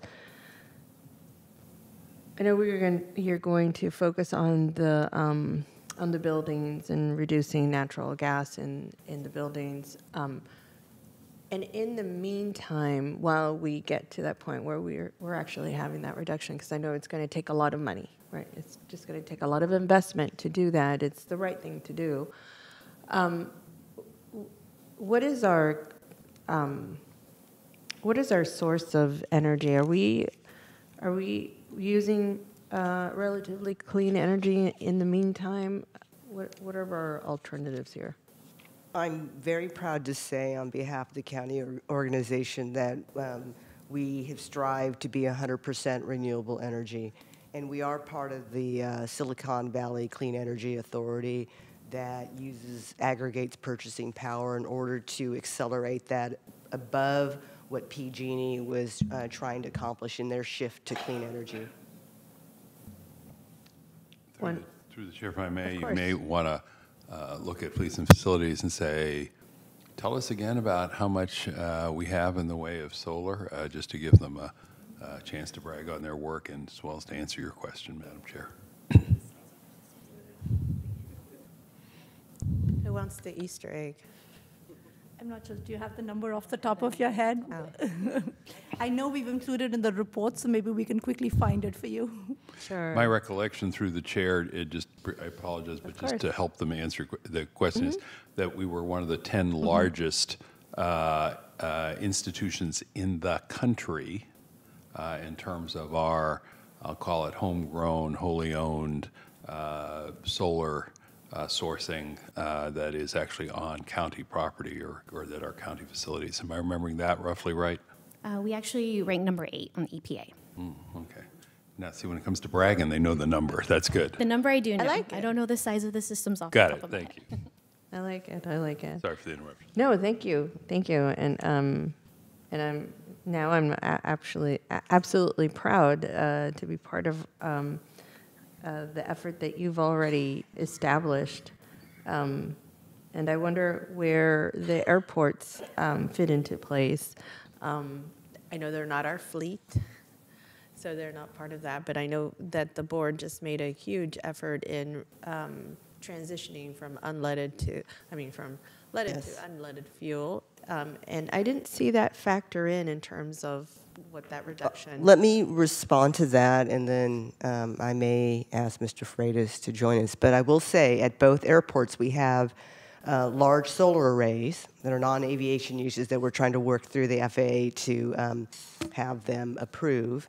And you're absolutely right. January 1st, 2022, um, the way I describe it is we're the first airport system in the country that, due to the leadership of the board, based on a study that was conducted by uh, Dr. Zahran, that showed conclusively that the operations were contributing to blood lead in children in, a, in the um, a mile and a half um, radius. And I wanted to, and I say this with pride, um, also announce that that study was then submitted to the proceedings of the National Academy of Science, which is the most prestigious science journal, and was published, um, and also submitted to the EPA. So when it's undertaking its endangerment finding um, of airborne lead, and we're waiting um, eagerly for the results. And I expect a conclusion that, in fact, the airborne lead from leaded avgas does contribute um, detrimentally to health and welfare. That um, that study was part of that integrated science assessment, um, where I believe they'll make that conclusion soon. Um, we do have analysis with respect to um, fuel consumption, but um, um, you're right. We we reduced leaded emissions. I don't know if it's if we have any specific. And I'm going to turn to Ms. Sharma if we have specific data that we can share with respect to that. I think the distinction to make here is between what we call scope one, two, and three emissions. So as part of operations, what we really focus on is scope one and two, directly like the emissions that come out from our own operations. And for something like the airport, because it's beyond just operations, you have a lot of other traffic coming in and going. That is part of scope three. And if you look at the, the, the accounting protocol that's used right now for operations, the focus is usually on one and two, uh, and not as much on three. Uh, but it's something that communities are and, and jurisdictions are looking at in the future. We're just not there yet. Mm. Well, I'm just saying, we, we, we've made some policies that are going to improve Mhm. um, the, the local environment for our families. We should be able to factor that in, take credit for it, and see what that translates into. I don't know how that would be, but I, I hope that we could We can look into it certainly for Yeah. future inventories as well, and yes. Yeah, I just thought it was a, a huge step uh, in the right direction. I mean, the the biggest step in the right direction is closing that airport, of course. Um, but in the interim, this is one way of mitigating that impact to our community. So I'd love to see what that translates to. All right. Um, those are my question. Those are my, my comments. I, I, I love the, the energy and um, the goals, the huge goals that you are set um, and established here uh, on the roadmap. And um, I know that you're already in the works of pursuing, you know, regional, state, federal grants and, and funding um, so that we don't impact our general fund as much. And so uh, I'd love to hear what those updates are. Every once in a while, come back to us and let us know and how we can be supportive as, uh, as well. I had office hours in um, Gilroy on Monday. I'm, I'm losing count. But one day this week I did that. And, you know, one of the, one of the, um, it, it was this micros, uh, they're not even a 501c3, but they're on their way to, to become one. And they serve the community really well, this, this group um, does. And the, the major item um, uh, in terms of agenda for the youth group that they had um, organized was environment. And, you know, these are, our, our next generation is so invested, and we need to figure out how to utilize um, their commitment to our planet um, and really have them contribute in a meaningful way. And so it would be wonderful to figure out how our youth and our community are, Mhm. are feeding into the efforts that you're working on on a daily basis. And I'd love to get the name of the organization, uh, also from the perspective that we are launching the Youth Climate Initiative. and are actually next week holding a meeting with a number of our partners and stakeholders. So I'd actually really like that name to make sure they're invited to that meeting next week as well. Oh, great. Yeah. Great, great. We can great. keep you posted on that. Thank you. Of course. Thank you, thank you, and thank you for all the really great work. All right, so late, let's uh, call roll. We already have a motion and a second. Vice Chairperson Simitian, Aye. Chairperson Arenas, Yes. motion passes. Congratulations, and off to the races you go. I'm Oh. happy to kick off the budget discussion. And I should indicate I have to leave in five or 10 minutes, so- and I'm, um, apologize, but I got to get to a library JPA meeting. If there is a motion required, want to make sure I put that motion out and we get action on it, even if there's some follow-up conversation, Madam Chair. Thank you. To respond to that, it's a receive report. Um, We are, let me just set the table, and then invite the departments to speak. And, and um, you know, Supervisor Simitian, um, as you noted, you've been here in your second time around since 2013, so you're um, acquainted with these departments. And really, uh, what we did is orient the presentation for Chairperson Arenas, who's new and is obviously um, continuing to learn. You know, it's only, what, April, um, the entire county organization. So really, the presentation was oriented around that. I'm going to take the implied compliment, but um, a- a- acknowledge anyone who thinks they fully understand the county budget, even after a decade, is uh, perhaps being unduly self-congratulatory. Uh, And um, so what I'm happy to do, Madam Chair, to facilitate the meeting, given the challenge, is move approval of the recommended action, which is to receive the report. Uh, And if we can get action on that, then the business of the committee will be conducted. I'll sit for a few minutes and learn some more, but then I'll quietly slip away while the con- meeting continues, if that works. I, I appreciate that. I'll second that, and, uh, and I'll stay back and learn. Thanks. And then I can come to you and say, what's this about again? Uh, Of So, course. by- Consistent with the By Brown Act. June, I should have this all Good. just under control. You- You ask me anything. Let me talk a little bit about process, unless the clerk needs to. Well, if, we, we do have a motion and a second, if I can do the roll call vote so that uh, Supervisor Smitty And quickly, any public comment? on this We item? have no public comment on this item, either virtually or in chambers. Uh, Vice Chairperson Simitian. Aye. Chairperson Arenas. Yes. Motion passes. Thank you. So to continue, um, we are in the middle of the process uh, for the preparation of next fiscal year's budget. The departments have submitted their requests, and in the interest of transparency, we do bring those to the committees. What we ask the departments to do is responsibly develop what they believe their needs are. And then, of course, it's the county executive's office to then take all of these requests and prioritize them, because at the end of the day, we have to have a balanced budget. What's a little different this year is that, um, you know, we continue to forecast and look at historic trends, but we didn't ask departments this year to submit reduction proposals. But as the budget picture uh, was further clarified as we go through this months-long process, uh, we did learn that um, we do have significant shortfalls. What we're currently showing for the public is a $120 million shortfall. And while we didn't ask departments for reductions, we did have to take actions, including deleting, um, I'll just say, several hundred vacant, and I want to underscore the word vacant positions to help balance the budget. The budget will be published, the recommended budget, on May 1st, which is Monday. It'll be posted to the website, and your offices should sometime that day receive hard copies and potential discs for your own use.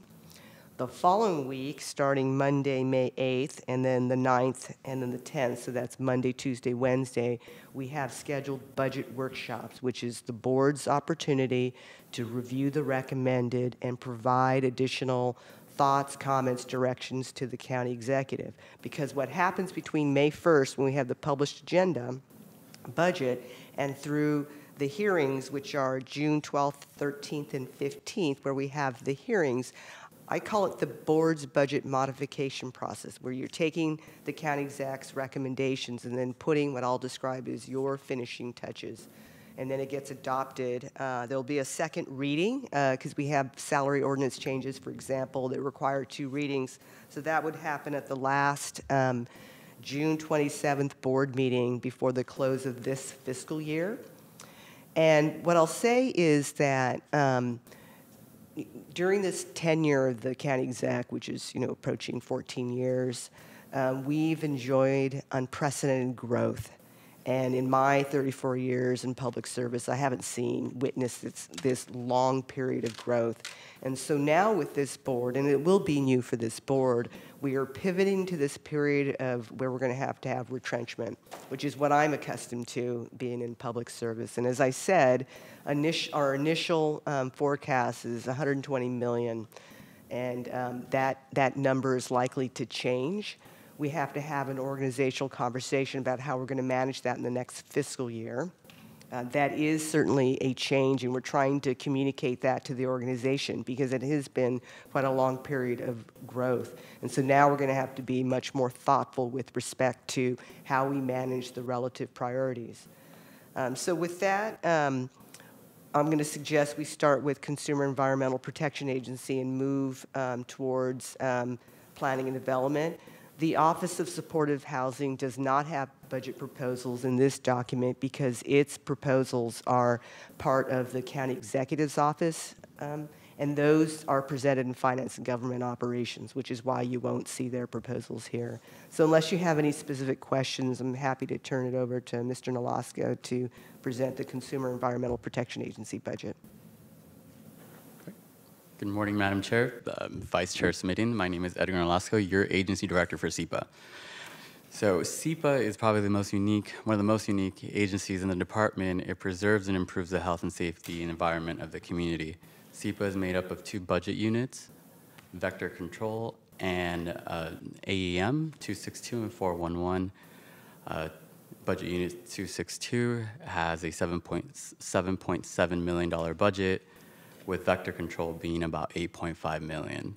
Uh, with a combined total budget of 16.2 million, uh, in total has 136, excuse me, 136 full-time team members, 97 of those in the AEM side, and 39.5 in the vector control side. Uh, is made up of nine major functions or departments, if I may say, as part of the agency. Agriculture, weights and measures, animal services, watershed protection, household hazardous waste, weed abatement, waste, uh, integrated waste management, vector control, weed abatement, and UC cooperative extension. Uh, CEPA is funded through a unique mechanism, a com combination of special revenues and general fund. The vector control is a special district under your board, and that is funded through a special tax assessment, um, and, it does not include any general fund resources this is my first time as your as a director here in Santa Clara County, and it's been a unique experience. And I really thank the CEO's office and OBA with uh, providing me guidance on creating this budget. And this budget was uh, was a unique opportunity to highlight some of the areas that CEPA really needs to focus on. One of those major areas is the Animal Services Center.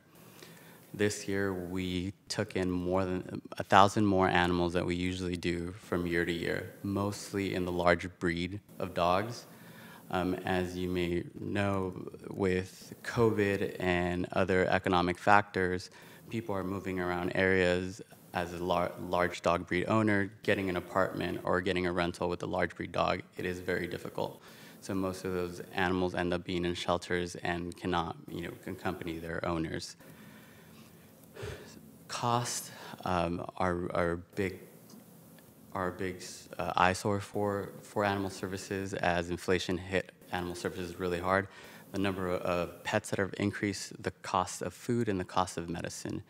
So, as part of our budget request, we did um, ask for more personnel, more team members, in order to provide a more welfare to those animals, but also keep the animals in a, in a capacity where they can be uh, open for donation and rehabilitated for them to be donated.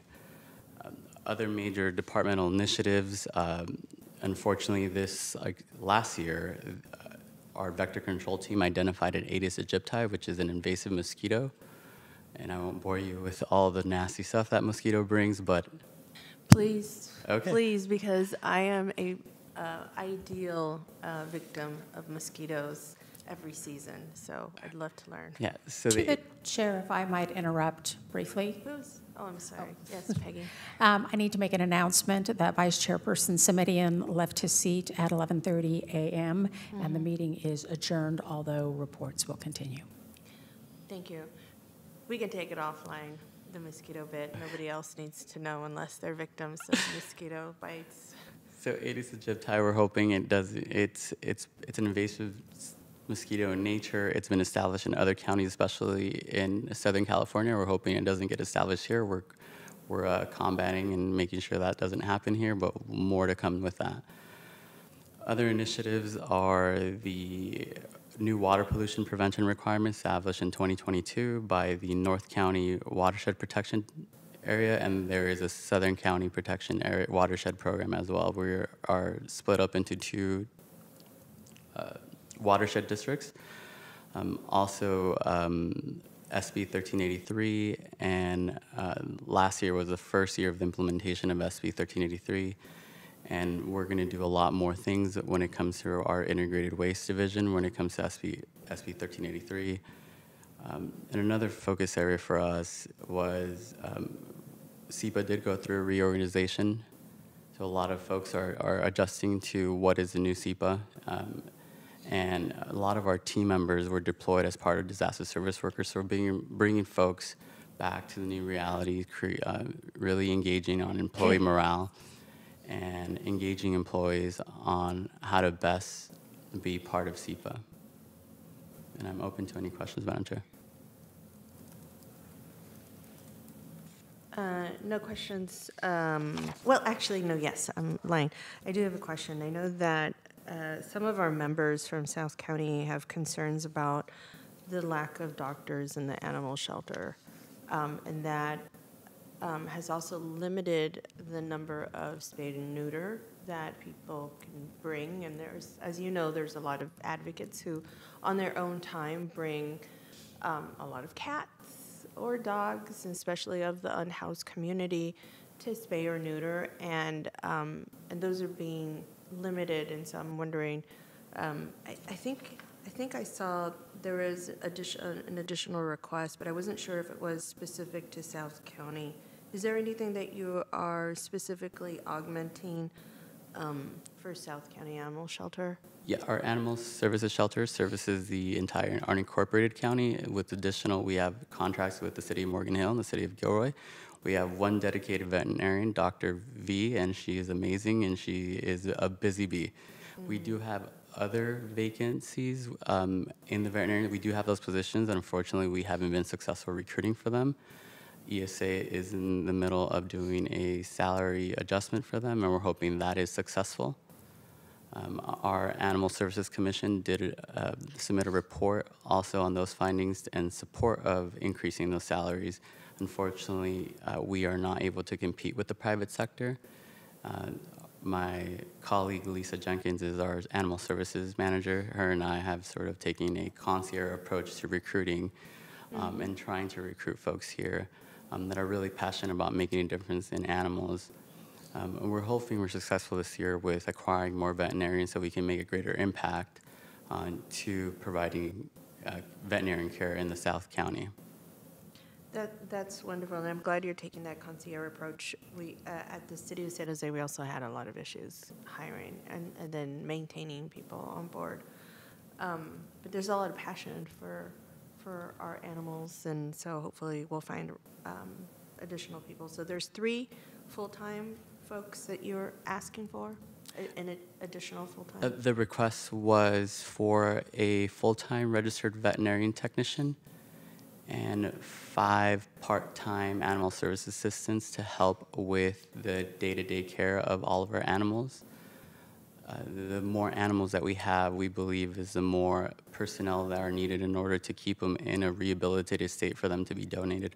Also, with um, Deputy Executive uh, Gallegos' leadership, where we're trying to take a different approach on animal services and really you know, reach out to the community to, to have them, you know, there, it's a multi-pronged approach, you know, m- more spaying, more neutering, less animals, but also, you know, utilize the community to be part of the solution. And we're hoping to engage others as well. Okay, so maybe we can take this offline and see how we can integrate what our folks are doing in South County uh, to actually help and so that they don't feel hopeless or frustrated um, and continue to volunteer and bring in those animals themselves. Um, because that's kind of, they're filling some of the work that, that uh, we should be doing on our own, right? Yeah. So uh, anyways, I, I really appreciate the work that you're, that you're doing. Thank you. Thank you, Madam Chair. With that, we'll um, go to Parks and Recreation Department. Um, Don Rocha, the director, is not here, but Josie Reddick is representing the department.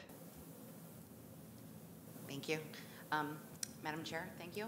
Um, I better put my glasses on.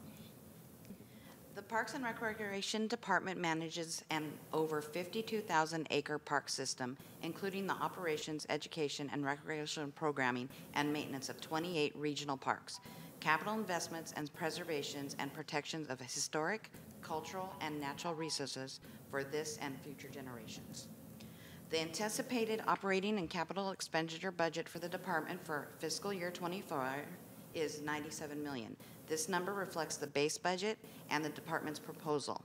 With this request, the department would have 253.5 coded positions and typically adds around 80 seasonal extra help support each year. Uh, The majority of our park funding is provided by the Parks Charter Fund, first established in 1972. This is a voter-approved set-aside to the existing property tax assessment. Fiscal year 2017-28 was the latest renewal providing for a 15-year park charter extension. Uh, The charter fund allocations go 80% towards our operating fund, 10% towards capital, and 10% towards land acquisition. Um, We also have additional funding sources, including revenues from fees and charges, leases, grants, and other contributions. Our, um, the, this request, the department continues to focus on repair, rehab- rehabilitation, and improvement of existing facilities and amenities versus major expansion of new services. This budget request focuses on prioritizing capital investment, addressing our aged infrastructure, enhancement of existing programs, planning and implementation of sustainability measures to improve climate resiliency, and expand accessibility and equity to serve the diverse population of the county. Uh, The department is committed to an inclusive and equitable park system that provides extraordinary customer service and ensures that it meets the needs of the county's population to enjoy. Capital investments to address aging infrastructure, deferred maintenance, and historical buildings. Um, Enhancing marketing and outreach programs to reach underrepresented and underserved communities to the regional park system, including a new interpretation and outdoor traveling van to bring into different communities of Santa Clara County, essentially taking the parks out of the communities directly, out, sorry, out to the communities directly, especially those communities typically underserved by the county parks. Let me just add a couple of additional thoughts. So, one is I was really proud because during the shelter in place that took place March of 2020, the only place people could go was our county parks. And at that time, we waived the entry fee. And we saw this explosive growth um, of people finally, not finally, um, new visitors who enjoyed our parks. And I think we've seen that continued, you know, once they um, got to participate, and enjoy our assets, that they have continued. But it was, uh, I don't know if you remember that period, but people were going stir crazy. and it was, apart from walking in your neighborhood, it was really the only thing you could do because other park systems were closing their parks. So I'm really proud of that. And then, um, secondly, and we really wanted to put a fine point on the work that department is doing in terms of equity, racial equity. They have this team internal. I don't remember their name. Don could tell you, as you, you could. Josie. It- We But it the Parks Equity Action Team. yeah, they're really richly and in a granular way trying to figure out how we can, in fact, embrace it and have it part of the fabric of the organization. So, just one minor example is we have, I think, 28 regional parks. 28. Thank you. Um, some charge a use fee, others don't. And we're trying to look at that through an equity lens to make sure that, for example, like we have Hellyer Park, one of our urban parks in east central San Jose, to make sure that there's um, equity so that, you know, in parts of, of the county where, you know, people are resourced to be able to pay, you know, the, what I view as a rather nominal fee, that there is, that we are looking at that. And I believe, because I've asked the director to bring forward a proposal so that we can show that. So, for example, um, Rancho San Antonio in West Cupertino, where I live, we don't charge that fee. And, um, but other parks we do. We- And technically, you can get to, into all our parks for free. Every park has an entrance that does not require some sort of thing. It's the parking entrance fees for some. And usually, uh, our standard of care for that is a park, we charge a parking entrance fee, not for a parking lot or a bathroom, but for other enhanced amenities, such as, that has group campsites, it has campgrounds, it has um, um, picnic sites, it has other things than just trails and open space. Mm-hmm. So those are the ones that kind of reach to the level. And to include, we are also currently doing our, we have to occasionally do a fee study. And so we are looking at our fee study and cost recovery plan and all of that stuff. And that'll, of course, come through all of the commissions and boards that ne- needs to come through. But we're looking at that, and that entails doing a research of all the other areas around us and make sure we're doing that. But to Sylvia's point, we really are trying our best to make sure every bus- business decision we make in parks has a equity and access lens so that we are not making arbitrary business decisions that could unintentionally make someone not come, not be able to come to parks. A- Again, like, we would like the van to take it out so that we can show people, bring parks, make it not, because we're regional, so we're not easy to get to all of the time. So we're really trying to enhance those services. With that, we will um, have Mr. Freitas from Roads and Airport Department present on both parts of his Uh, Yeah, agency. good morning. Actually, there's a, there's, um, I was counting them up. Uh, Harry Freitas, I'm the Director of the Roads and Airports Department. Um, So, yeah, we have uh, multiple budget units in the department. Uh, We're not supported by the general fund. Uh, All our funding essentially comes from special funds. So the roads, the roads department, which is historically referred to as the roads department, the road fund is $80 million. And that comes from state gas tax grants, fees and charges. The airports is now um, $6.7 million Airport Enterprise Fund. Uh, That's funded solely by airport user fees. And then there's a separate, um, separate fund for airport grants, um, which we still take in San Martin. We have Sanitation District 2-3, which is um, a special district. Um, Under special district rules, we collect um, funding on the tax rolls, that's $6.6 million. And then we have the county lighting service area, which is a half a million dollars, um, also funded um, via the tax rolls. We have 260 personnel in the department, uh, about 250 in roads, and uh, we have 259, um, 247 in roads and 12 in, in the airports. The airports is small, Hmm. uh, relatively speaking. Um, you know, the services that we provide uh, mostly um, revolve around uh, paving and maintenance. That's the majority of what we do in our department. Um, That's the most important thing we do to maintain our infrastructure, to reduce the ultimate cost to the county. This county does not support the road paving operation with the general fund. That's not true all over California.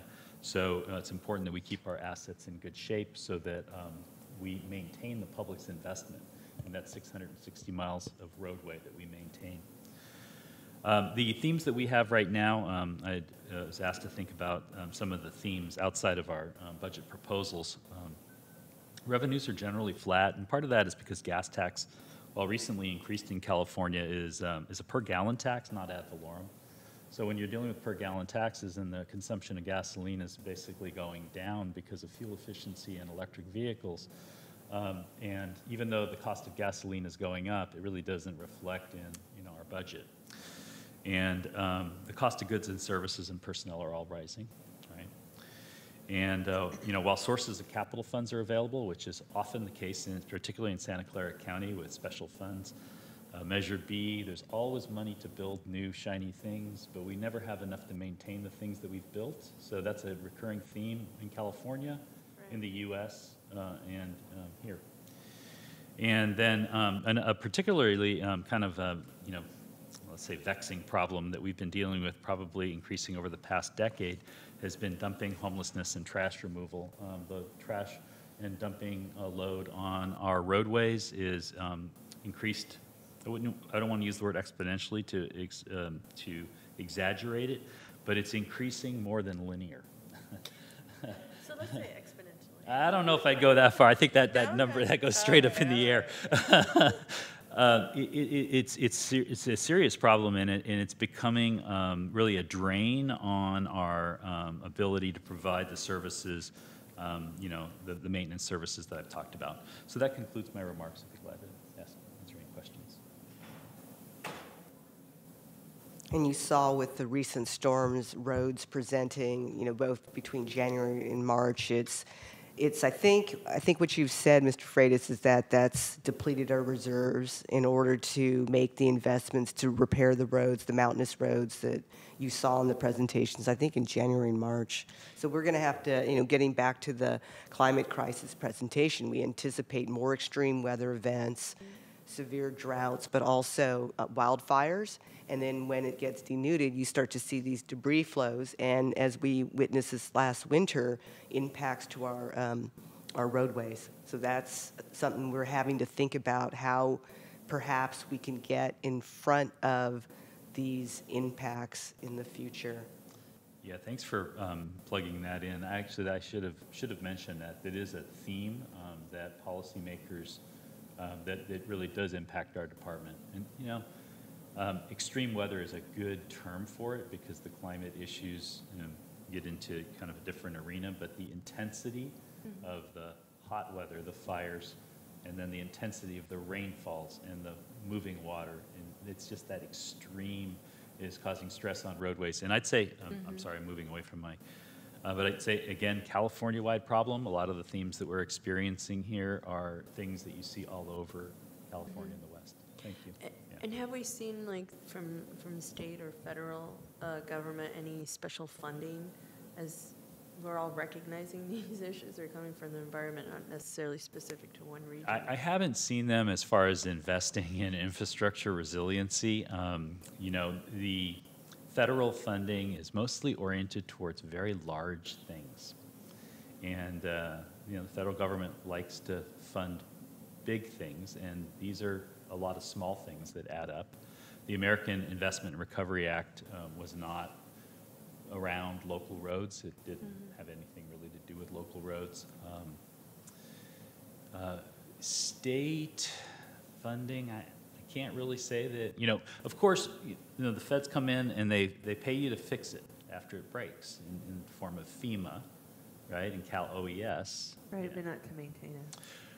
Well, you know, we have a responsibility to probably start pushing, um, and we will be doing this, pushing some of our discretionary uh, decisions on maintenance into the resiliency um, of the areas of the roads that are prone to failure. And what I'm referring to mostly is where creeks cross under roads and in pipes, culverts, you know. um, a lot of our roads, just as all over California, were built over 100 years ago. Particularly the county roadways are very different than the urban roadways because they're in the hills. Right. They were often built under substandard conditions and then, you know, widened over the years. So you, you start, you get out of those urban subdivided streets that were built with modern techniques. Yeah.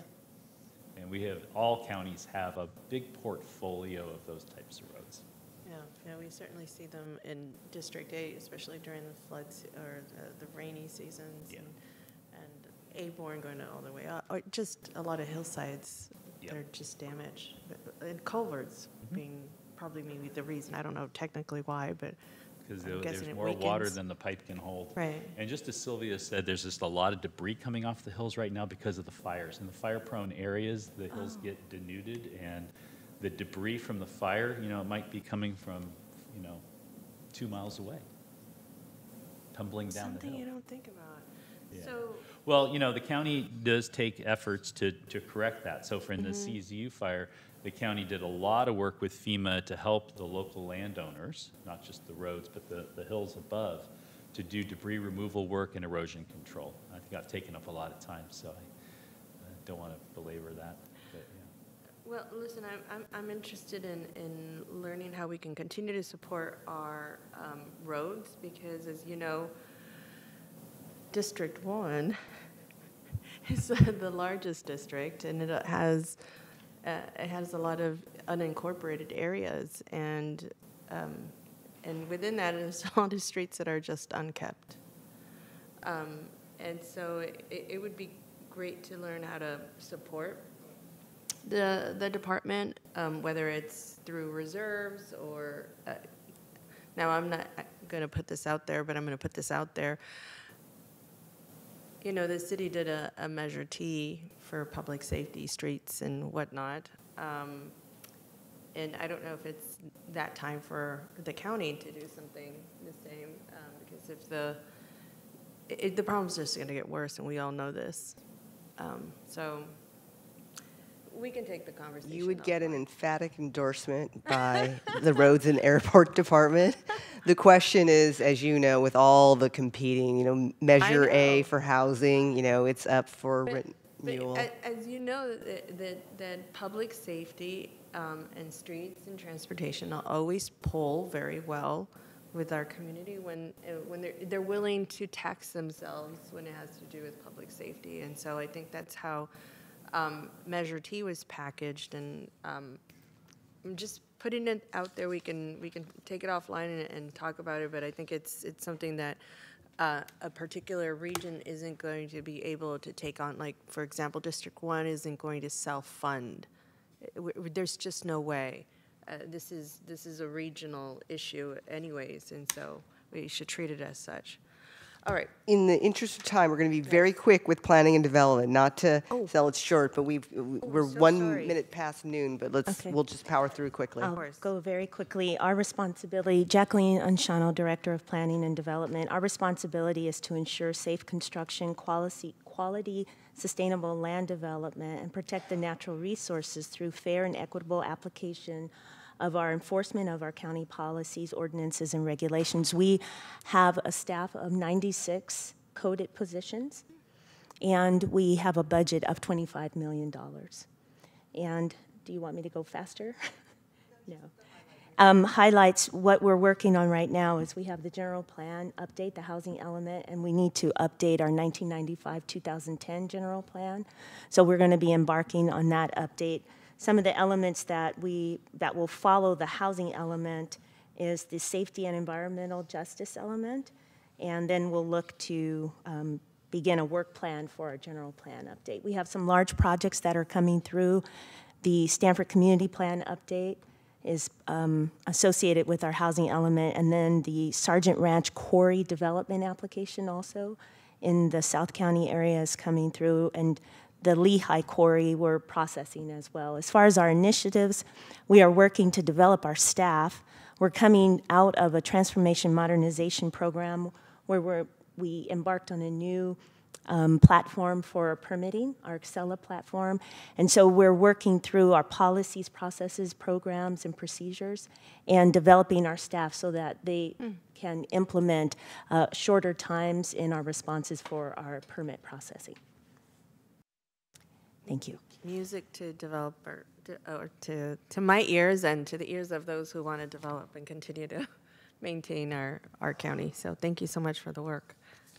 And that's it for this uh, item, so I'm going to adjourn this meeting. Thank you so much, for everyone, for your participation, and we'll see you at next month's meeting. Thank you.